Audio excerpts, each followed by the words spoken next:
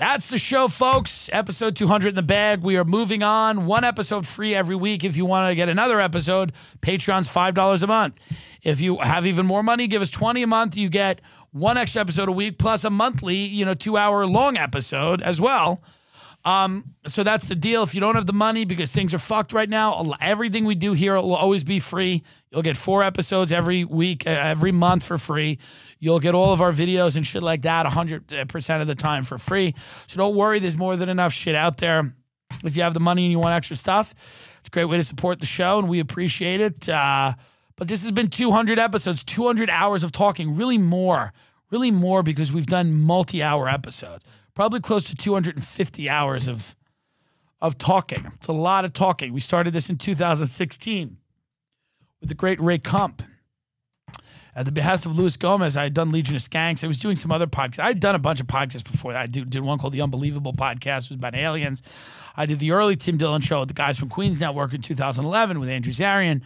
Um, and then eventually I started doing this show with Ray Kump out of the Gas Digital Studio, which was in Ralph Sutton's apartment. Um, of course, with Legion of Skanks, Lewis, love those guys. And then me and him and Nick still do a thing on YouTube, uh, Bastard Radio. Lewis named that. We don't have to tell you that. You knew that. You knew that when you heard the name. Um, I got to start doing that better. I mean, I just do it on Zoom and my my, my like it, it, it, people don't really complain about the sound quality though. People have been so beaten down with everything they don't care. Probably better if I hook up with a mic, but who cares?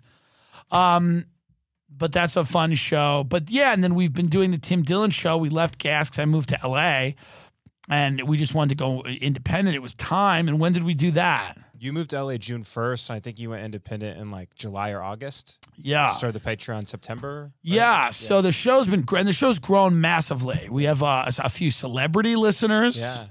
Isn't that nice? Um, and the celebrities are Bill Gates, Melinda Gates, uh, his team of killers he's going to hire to descend yeah. on my apartment and kill me. Um, yeah, I mean, it's been a wild ride. When I started podcasting, I didn't think it was going to be my career.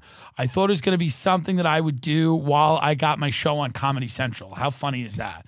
I thought I, podcast was going to be just a fun thing I could do to stay strong as a stand up while I got my show on Comedy Central Network that now doesn't exist, essentially. As of a few weeks ago, it really doesn't exist. Um, so, especially, thank God I pivoted the only reason I've been successful at anything, people ask me like, "Are you a are you a harder worker? Are you this and the other thing?" Sure, there's some innate talent or whatever, but the reality is I get bored easily. So I got bored with stand up, and I still love stand up. I still do it, but I got bored with it, so I started doing podcasting, and then I got bored with podcasting. So me and Ben started making content, videos, things like that to put on YouTube, social media. So the reality is, if if you know anything's, I think it's about getting bored and doing new things, not stopping doing old things, but adding new things to your repertoire.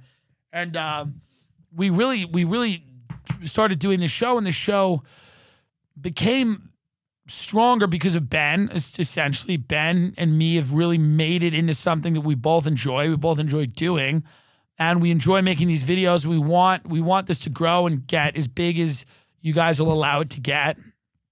Um, but yeah, I mean, from where we are now, even where we were a year ago or a few years ago, it's like uh, you can't even. It's not. It's not identifiable. Yeah. And Joe Rogan's a huge part of that by having me on the show as much as he's had me on the show, and by by by promoting us and putting out our videos and everything like that. And you know that we, of course we don't forget that.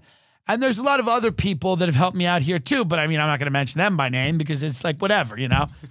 It's you know, it wasn't the hugest help. It was fine. I mean, Joe's a bigger help, you know be honest. I'm not going to go down a laundry list of you know people that are, we we get it. Okay, you know some of these other shows I've helped out by being on. Let's be honest.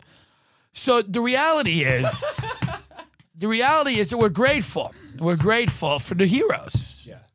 Anyone that's had me on their podcast, a hero. In my book, you're a hero. But it's been a wild ride. We are broadcasting at the end of the world. This is uh, this is the apocalypse. I know for most people it's not. They're selling shoes, you know, the sneakers. Sneaker. Uh, you know, the great thing about uh, this country and about civilization is like the longer and longer things like this go, the shutdown, the worsening economy, the, the the Black Mirror, whatever you want to call it, that that that I, I heard the Black Mirror was named that because it was like what a computer looks like when it's off. Yeah. Is yeah. That just looms larger and larger. That just grows.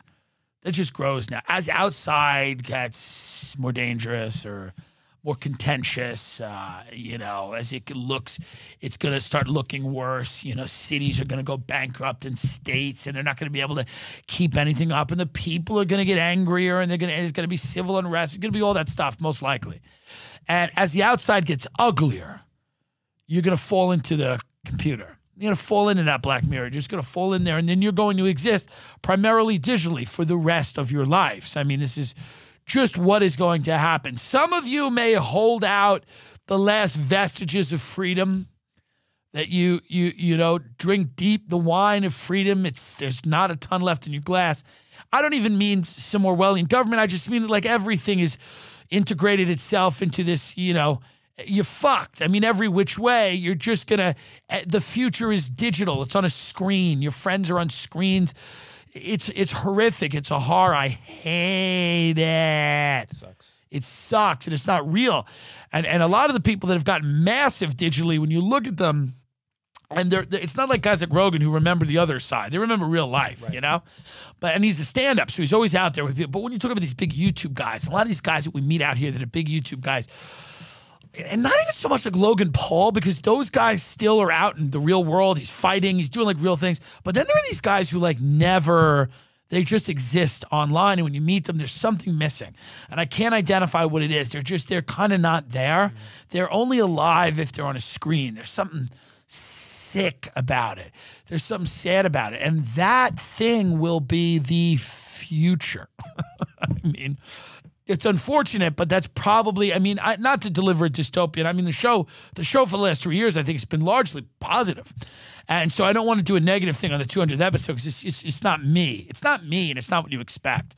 You know, start your business. It's going to be great.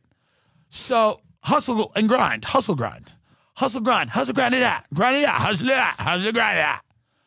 But I will say this, man. I mean, we would always joke around about this situation that we now find ourselves in, broadcasting from a room as the entire world falls apart.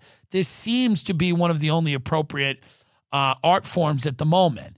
It it does seem like that. It doesn't seem like it's. I don't know that I I need to be at some you know comedy club while people are scarfing down chicken fingers. This this seems much more pertinent and this seems fitting. It really seems like it fits the time that we're in. I, I, love live performance. I hope it comes back. It will come back, and, and I'll be out there doing it when it does come back.